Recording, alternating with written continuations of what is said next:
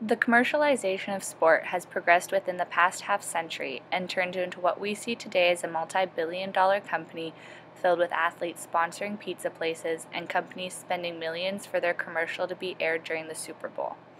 The role of commercialization does not only occur in professional sports, although this is where we see a majority of companies advertising their products. It dives deeper into even the earliest stages of sport, and that is our youth. It is becoming more common in the United States for youth sports to take the shape of a pay to play program, meaning that students who want to participate must pay fees in order to play. To those who can afford it, this may not seem like a large issue, but for those middle class families who are in some cases already struggling to get by, this is a make or break for their child's chances of playing youth sports. It is no longer the best and most athletic kids that will be playing the sport, but rather the kids whose parents can afford to write the check for them to play. The number of children who play youth sports today, as opposed to 15 years ago, has dramatically changed, and that number is expected to continue to decrease if commercialization continues to increase. This pay to play format has not only been implemented in sport travel teams, but has also found its way into some high school varsity programs. In 2011, 61% of high schools in the United States had some charge for participation in their varsity sports. Yes, sports can be expensive to play, especially when traveling is involved, but we need to have alternatives for those who cannot afford any other option. We have a severe obesity crisis in the United States, and by minimizing the opportunities for youth to play sports, we are sending ourselves into a severe downward spiral. But what happens when children who play youth sports make it to the college level?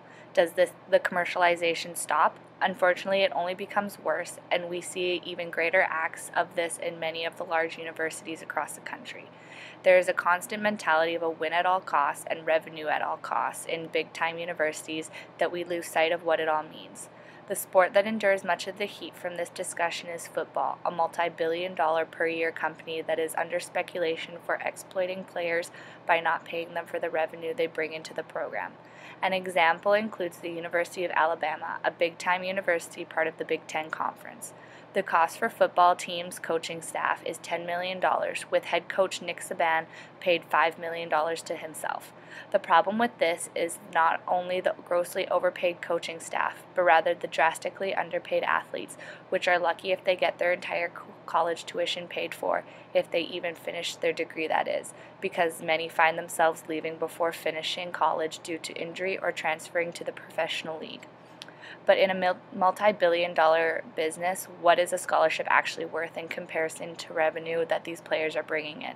The average scholarship for a college athlete is $23,000, compared to the average worth of a college athlete calculated by the National College Players Association, which is $120,000 for a football player and $265,000 for a men's basketball player.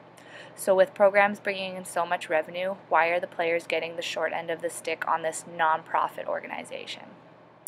Alabama is not the only school under fire, though. 75 other big time sports universities allow themselves to operate under this title of a nonprofit educational extracurricular activity, which means taxes are not paid and more revenue is collected. This idea rests far from the mission of big time college sports teams and the stated purpose of integrating intercollegiate athletics into higher education so that the educational experience of the student athlete is paramount. The goal of these programs is always discussed to be the value and importance of student athletes getting an education, but in cases like these, the actions of the schools show a different side of sports. The idea of a revenue at all cost, not the ethics of a good education. A debate on CNN discusses the idea of paying college athletes at big time colleges for the revenue that they bring in. People Here's a clip. The, you know, the, the, the final 64, if you will. Why couldn't there be, for places that make money, an ability to simply spin it off as a corporation? Well, you could do that, but that would change the model completely. And, and you're right, that is exactly what some people are talking about. I'm not so sure we want to see what that looks like. Because then, if you take college sports out of the academic model, and put them into the economic model, then of course you're paying market rate for players.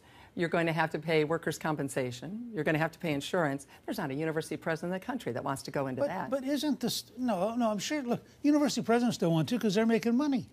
I mean, if you're a university president, you're getting paid fine. You're doing great. And by the way, if you recruit somebody who's a really great player, they may be worth five hundred million dollars to your institution by the time you get done with alumni grants and all these other things. So you love it.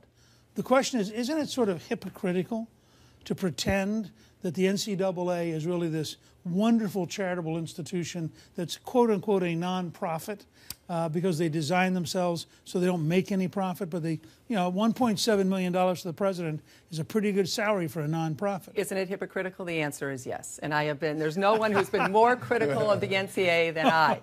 But this is one of those things I think where they say there's, there's, uh, this is the best system we have. They're all, they're, no, nothing's great, but I would hate to see what this is. Going There's a reason, for example, that the Big Ten has said if the Ed O'Bannon case, which is another part of, of paying players uh, for their likenesses, if the Ed O'Bannon case actually loses, the Big Ten says we're out of college sports. We're becoming Division three now. I, I can't wait to see that. I'm a Big Ten person myself.